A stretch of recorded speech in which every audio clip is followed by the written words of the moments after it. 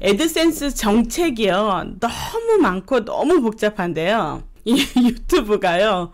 초보자용 안내서 이걸 또 떡하니 만들어 놨네요. 너무 웃기지 않나요? 실수하지 말라고 무슨 소리인지 못 알아들을 것 같아서 아예 초보자용도 또 따로 만들어 놨어요. 제가 하나 더 중요한 거 말씀드릴 거예요. 들어주세요. 감사합니다. 그래서 우리 되게 조심하셔야 돼요, 여러분. 네. 공부할 것이 많네요. 하셨어요. 네. 음, 이거 너무 모르고 시작했어요, 우리. 그냥 앞서간 선배들이 이렇다더라 저렇다더라 그럼 아 그런가 보다 하고 그냥 따라갔었는데 이렇게 떡하니 써있는지 우리 몰랐어요 그쵸?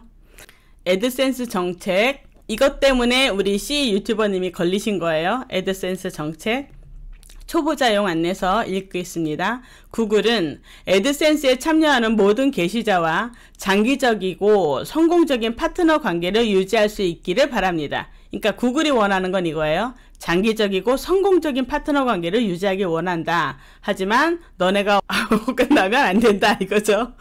이를 위해서는 게시자가 애드센스 프로그램 정책을 숙지하는 것이 중요합니다.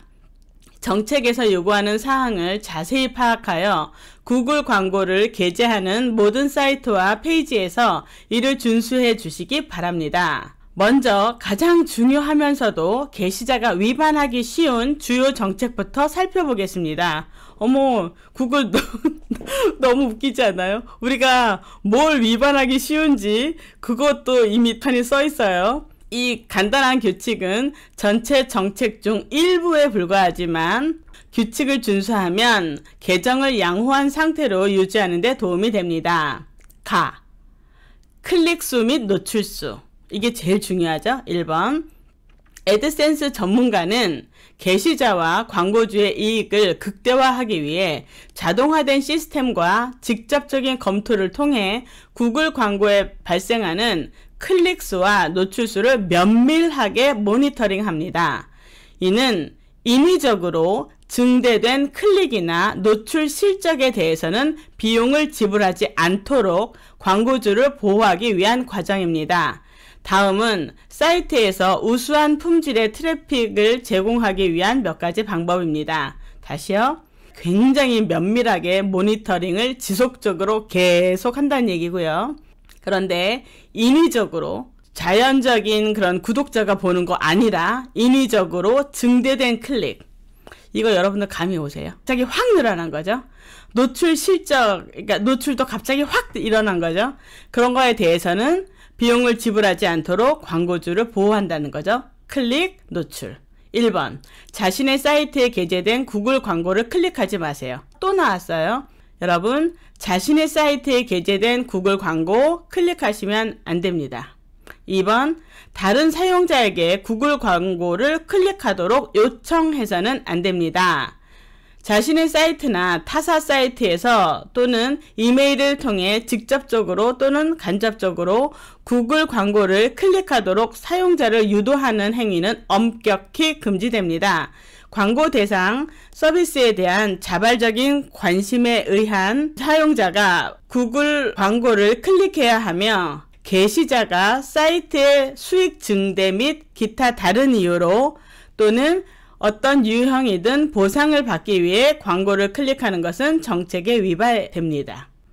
네, 다른 사람도 자발적인 사람이 아니면 그 광고를 클릭하면 안 됩니다. 키네마스터 돈 내고 사용하는데 그런 일이 생겨요 하셔서 제가 저작권 할 때 한번 할 거긴 한데요. 사실은 이런 저도 이제 모바비를 쓰고 있는데 모바비 저도 돈 내고 하죠. 근데 이제 이런 거 말고 진짜 음악을 돈 주고 사는 사람들이 있거든요. 그 사람들도 안 된다고 써 있어요.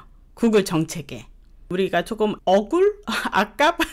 하지만 어쩔 수가 없어요. 네. 유튜브는 처음에 실방이 없었는데 아프리카 따라 하려고 실방을 했고 실방 시청 시간도 4,000시간에 적용을 해주니까 그게 악용이 되기 시작한 겁니다 하셨어요. 오 그래요? 자 여러분 다시 클릭수 노출수 갑자기 확 느는 거죠? 안 됩니다 라고 분명히 써있고요. 그 다음 3번 광고가 게재되는 위치를 신중하게 선택합니다. 게시자는 의도하지 않은 광고 클릭을 유도하기 위해 사용자를 속이거나 기만해서는 안 됩니다. 여러분들 각자 읽어보시고 네 번째 사이트 홍보 방식에 주의하여야 합니다. 타사로부터 트래픽을 구매하거나 광고 캠페인 설정 서비스를 이용할 때는 주의해야 합니다. 5번 구글 애널리틱스를 사용합니다. 구글 애널리틱스를 설치하여 사용하면 사이트 트래픽 통계를 더욱 정확하게 이해하여 트래픽을 최적화할 수 있습니다.